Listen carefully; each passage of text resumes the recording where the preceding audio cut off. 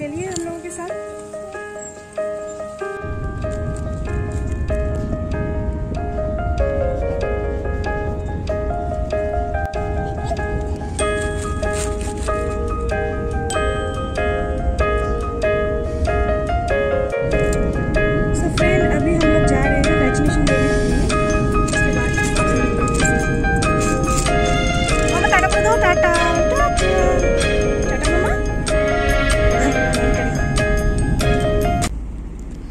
अभी सेंटर में हम लोग पहुँच चुके तो हैं। अच्छा आप लोग देख रहे होंगे इतना बेकार जगह है कि क्या बताओ गाड़ी घुसने की जगह नहीं है। मैप में दिया गया था अलग सा जगह और यहाँ पे पहुँचा दिया गया हुआ है। सो इस टाइप का लाइन लगी हुई है। मॉर्निंग में आए थे इसलिए थोड़ा बहुत भीड़ कम है।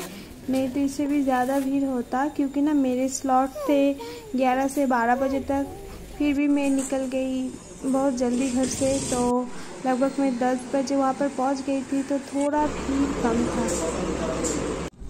मेरा वैक्सीनेशन तो कंप्लीट हो गया फ्रेंड पर वहाँ पर मुझे कोई भी फ़ोटो क्लिक करने के लिए नहीं दिया। उन लोग भी कोई भी परमिशन नहीं दिया, इसलिए मैं आप लोगों के साथ वो फ़ोटो शेयर नहीं कर पा रही।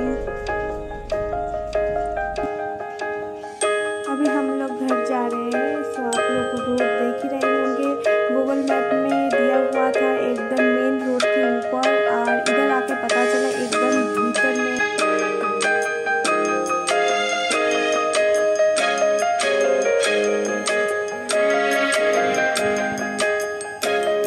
सो so, अभी हम लोग पहुँचा मेन रोड पे। अभी तक भीतर में ही था। सो so, आप लोग देख रहे होंगे कि मेन रोड का नज़ारा क्या है और भीतर का क्या था।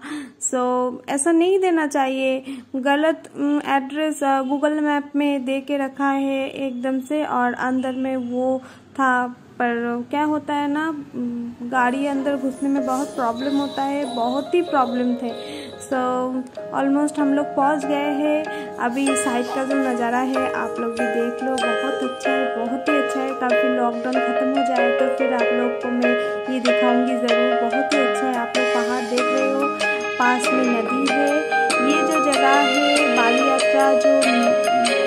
मेला होती है तो इधर ही होती थी, पर लॉकडाउन के वजह से अब कुछ नहीं होता है, सब बंद हो गया है। बहुत ही अच्छा जगह है ये, आप लोग को ज़रूर मैं एक बार दिखाऊँगी, जब लॉकडाउन ख़त्म हो जाएँगी, उसके बाद।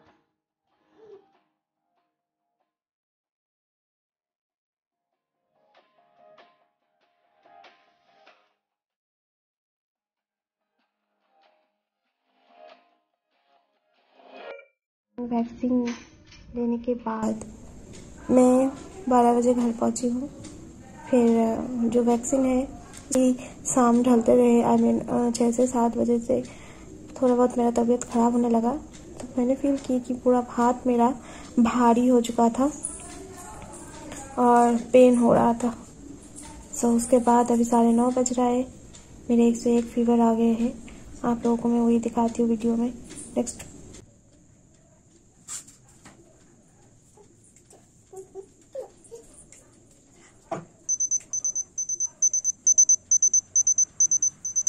आप लोग में से जो जो ये वैक्सीन लिए हो, उसका क्या इफ़ेक्ट हुआ, मुझे थोड़ा कमेंट बॉक्स में ज़रूर बताना। मुझे फीवर आया है, पर पता नहीं कितना दिन रहेगा, मैं दवाई भी ले चुकी हूँ। अभी देखते हैं।